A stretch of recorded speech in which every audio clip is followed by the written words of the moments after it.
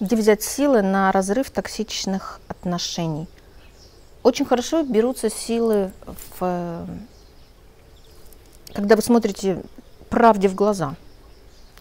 Правде в глаза. Я по себе могу сказать, что одна из причин, почему так долго тянулось, э, ну как долго, по сравнению с кем-то, я так смотрю, очень быстро все закончилось, так и не начавшись. Потому что была надежда, потому что до он был хороший. И вот эта вот надежда, э, не принятие реальности, такого не может быть. Но он же был нормальный, куда это все подевалось? Может быть, я должна как-то по-другому себя вести, может быть, я должна как-то с ним поговорить. Я помню эти серьезные разговоры, там что-то он с умным видом кивал. Короче, не обладала я информацией. Учитесь на моих ошибках. Проинформируйтесь уже раз и навсегда, что оно само не рассосется. Ну, не рассосется, вы просто потратите на два года больше. Два года это ладно там. Вы потратите килограмм просто здоровья, килограмм здоровья. Вот это вообще важно, вот это вообще трэш. Это ужас, конечно. Самооценка сдохнет просто окончательно и будет вообще в минусе где-то. Ну, то есть каждый день в таких отношениях он очень дорого выходит, очень дорого. Цена высочайшая.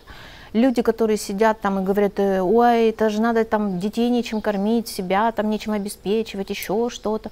Ой, это же надо куда-то идти, возвращаться, это надо снимать квартиру, считают там эти копейки.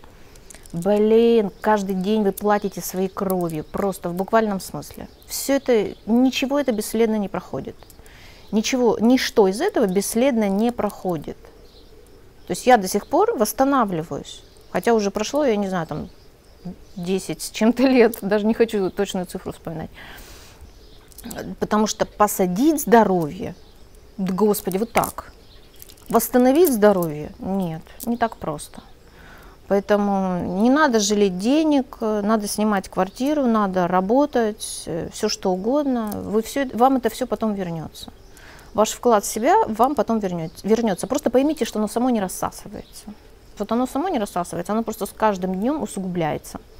И с каждым днем сложнее уйти, потому что сил-то меньше, сил-то меньше, здоровья меньше, вот просто реально такое бессилие, ничего не хочется, все какой-то тлен, у тебя плохое настроение, которое уже почти переходит в депрессию. Ну, в общем, в общем, так. Да? Посмотрите в правде в глаза.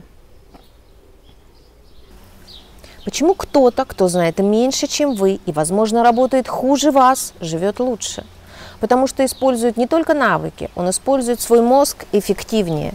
Если вы хотите так же, а может вы хотите обогнать и перегнать, записывайтесь на нашу бесплатную программу «Начни получать больше». Узнайте базовые правила работы мозга и начнете от себя получать больше и жить лучше. Вышла из отношений 8 месяцев назад, просто лоб расшибаю, не могу найти мужчину, как будто на мне крест, никогда раньше такого не было, мне 47, стала думать, что я просто старая, и это уже конец, тяжело. А, потому что отношения не строятся, расшибаю лоб. Когда женщина расшибает лоб, у нее здесь на лбу написано, что она его расшибает. А, значит, что? Это последний шанс, последний вагон, э, что еще? Ни один нормальный мужчина не пойдет в эти отношения, как и вы не пойдете в отношения с мужчиной, который судорожно за вас цепляется. Да, то есть вы так задумаетесь, блин, что с ним не так? Почему он судорожно так цепляется за меня? Что с ним не так? Все, то есть мужчины тоже люди, они не торопятся, они хотят посмотреть, и меньше всего они торопятся в отношении с теми, кто за них судорожно цепляется. То есть пересмотреть ваше внутреннее состояние, где произошел завал, почему вы начали лоб расшибать-то. То есть вот само это выражение, оно говорит о вашем внутреннем состоянии, о вашем настрое, с которым вы строите отношения. То есть вам срочно нужен мужчина, срочно нужен. В чем срочность-то? Что за паника? А, у вас низкая самооценка, когда вы вне отношений – Понимаете, да? Когда мы молоды и прекрасны, у нас гормоны, Господи, все, все выходят замуж кому надо. Вот все, кому нужно, выходят замуж. Там должны быть сильные вторичные выгоды, протесты, когда женщина не входит замуж. Гормоны выходят с низкой самооценкой, без самооценки, травмированные, кривые, косые, внутренние, я имею в виду. Все выходят. А вот когда гормоны сходят, вот здесь уже видна ценность и цельность самого человека. Да? Если в молодости очень часто люди путают желание интимной близости с данным конкретным человеком и воспринимают это как любовь, то во взрослой, во взрелости уже не путают. В зрелости любовь – это уже любовь. И здесь на первый план выходит сам человек. И здесь уже видны его завалы.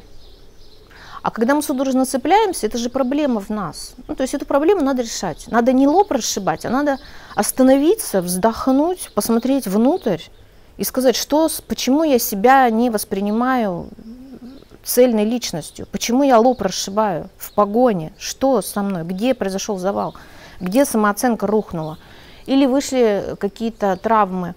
А, потому что когда мы перебегаем из отношений в отношения, очень часто ну, мы даже не замечаем, что с нами что-то внутри, что-то не то, мы выбираем не тех, эти отношения разваливаются. Особенно если все идет по принципу каждый следующий хуже предыдущего. Это стопроцентный знак, что с нами что-то не то. В том плане, что есть какие-то слабые места, которые надо закачать. Но мы на них не обращаем внимания, мы бежим, мы затыкаем дыру быстрее. Мужчина, мужчина, мужчина, быстро, быстро. И все, и уже все не так страшно. Вроде бы я ценная, меня же оценил кто-то остановиться, отдышаться. Приходите на второй поток идеальных отношений. Как перестать консервировать и начать жить? Девушки, да? Как перестать консервировать и начать жить? Все-таки домашняя работа, она должна приносить радость или ее нужно отдать другому?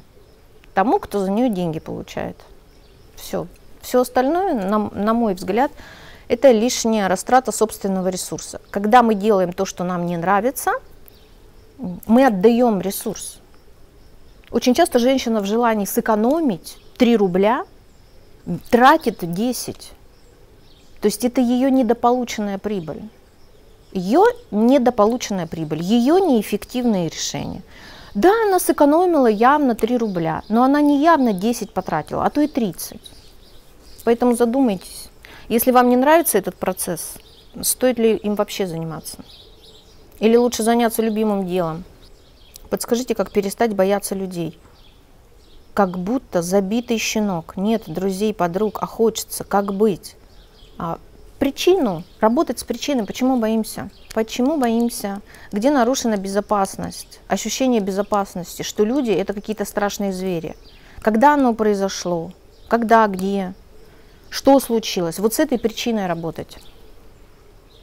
Приходите на идеальные отношения, то же самое скажу вам. Мы как раз там этим занимаемся.